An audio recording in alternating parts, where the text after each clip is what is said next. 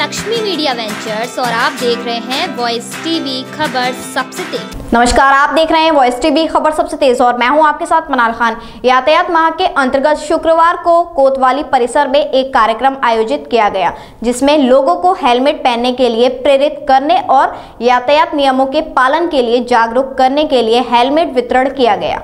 SP ग्रामीण राजेश कुमार ने scooty सवार छात्राओं को हेलमेट पहनाकर कार्यक्रम का शुभारंभ किया।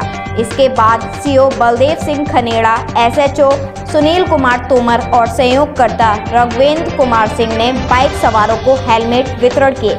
हेलमेट वितरण कार्यक्रम में एसपी ग्रामीण ने लोगों से कहा कि हमारे देश में सबसे ज़्यादा दुर्घटनाएँ युवाओं की मौत होती है, जिससे कई लोगों के परिवार बर्बाद हो जाते हैं। उन्होंने कहा कि पुलिस प्रशासन प्रत्येक साल नवंबर माह को यातायात माह के रूप में मनाता है। उन्होंने छात्राओं को हेलमेट पहनाते हुए कहा कि वे अपने अभिभावकों को भी प्रेरित करें कि वाहन चलाते समय हेलमेट और सीट बेल्ट का प्रयोग अवश्य करें।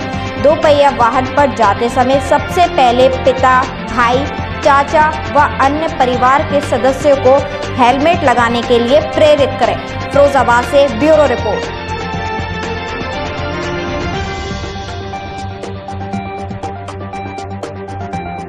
प्रदेश में नवंबर माह को यातायात माह के रूप में मनाया जाता है। इसमें हम लोग बहुत सारे कार्यक्रम करते हैं अवेयरनेस के साथ साथ जो इनका चलान वगैरह का कार्यक्रम भी करते हैं। इसमें हेलमेट बांटने का भी हम बहुत कार्यक्रम लगातार कर रहे हैं। जो भी इच्छुक होते हैं, उनसे, उनको प्रोत्साहित करते हैं इस दिशा में कि हेलमेट वितरण का कार्यक्रम करे, करें। आज यहाँ पे सिकोहाबाद में हेलमेट वितरण कार्यक्रम रखा गया। करीब सौ से अधिक हेलमेट का वितरण किया गया।